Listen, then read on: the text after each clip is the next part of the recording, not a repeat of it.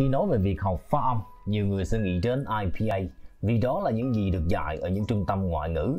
Nhưng bản thân tôi tự hỏi làm thế nào việc ghi nhớ và viết ra giấy những ký tự Latin lằng ngoằng đó có thể giúp bạn phát âm tốt tiếng Anh và giúp bạn có thể hiểu người nước ngoài tốt hơn. Để phát âm được tiếng Anh, không yêu cầu bạn phải thuộc những ký tự IPA đó mà yêu cầu bạn có thể đọc và khi mà bạn nghe bạn có thể phân biệt được những âm của tiếng Anh. Ví dụ bạn có thể nghe và phân biệt được giữa tense và thanks. Hoặc là bạn có thể nghe và phân biệt được giữa thick và take đó là khả năng mà bạn có thể phân biệt được bo, bell, bo bo và bo hoặc là bạn có thể phân biệt được khi nào người ta đọc là man khi nào người ta đọc là man và khi nào người ta đọc là man.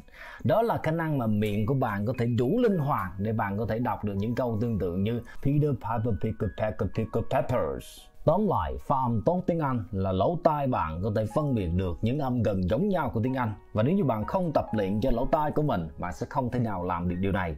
Nhưng hãy yên tâm, một tí xíu nữa tôi sẽ hướng dẫn bạn cái cách tập luyện. Nó không hề khó một tí xíu nào cả, chỉ cần một tí xíu nỗ lực của bạn thôi. Thứ hai là não của bạn phải đủ linh hoạt để có thể điều khiển miệng. Cái này thì cũng cần sự tập luyện.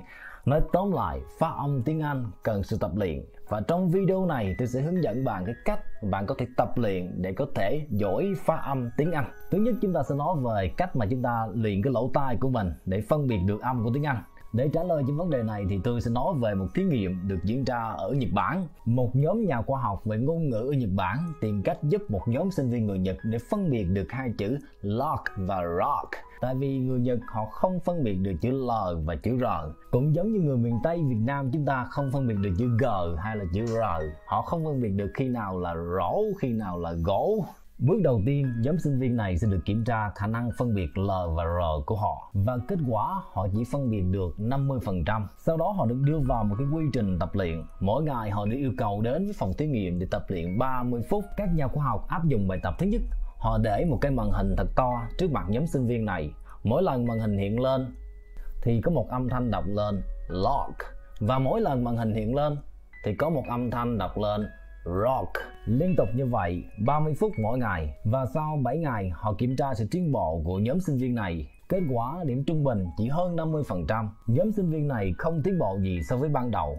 Qua bài tập thứ nhất, những nhà khoa học kết luận việc liên tục nghe những âm lạ sẽ không giúp cho não bộ chúng ta có thể phân biệt được chúng những nhà khoa học bắt đầu áp dụng bài tập thứ hai. Lần này cũng đặt một cái màn hình rất là to trước mặt những sinh viên này. Nhưng mà màn hình sẽ không hiện bất kỳ một cái chữ gì cả. Một âm thanh được mở lên và nhóm sinh viên này phải đoán xem họ vừa nghe được chữ gì, lock hay là rock sau khi họ vừa đón xong thì lập tức trên màn hình sẽ hiện lên kết quả đúng và họ có cơ hội so sánh với đáp án của mình. Liên tục làm như vậy 30 phút mỗi ngày. Sau 7 ngày thì những nhà khoa học này mới kiểm tra và đánh giá kết quả. Họ thật bất ngờ khi phát hiện rằng gần như 100% sinh viên này có thể phân biệt được sự khác nhau giữa hai chữ lock và rock.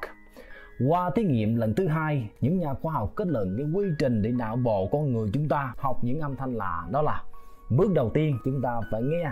Bước thứ hai, chúng ta phải đón coi chúng ta vừa nghe được cái gì. Và bước thứ ba, chúng ta sẽ nhận được kết quả ngay lập tức. Làm như vậy, qua những lần sai thì tai của chúng ta sẽ tự điều chỉnh, tự học cái âm thanh lạ đó. Trong một thời gian, chúng ta sẽ có thể phân biệt được những âm thanh lạ và đó cũng là quy trình mà chúng ta học những âm thanh lạ, những âm thanh của tiếng Anh mà không hề có của tiếng Việt. Nếu như bạn xem hết video này, tôi sẽ có một phần quà rất đặc biệt dành cho bạn. Đó là tôi có thiết kế sẵn rất nhiều video mô phỏng cái cách tập luyện này. Sẽ giúp cho các bạn có thể phân biệt được những âm gần giống nhau của tiếng Anh, những âm mà phần lớn người Việt chúng ta sẽ không thể nào phân biệt được. Bởi vậy, hãy xem hết video này để nhận được phần quà.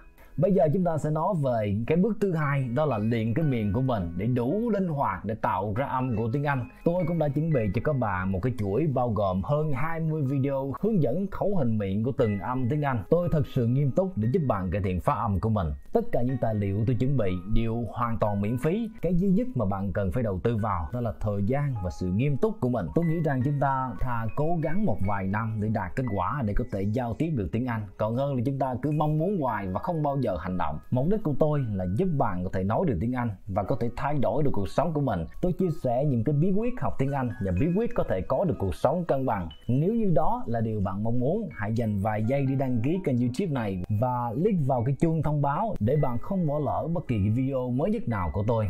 Hẹn gặp bạn trong những video tiếp theo.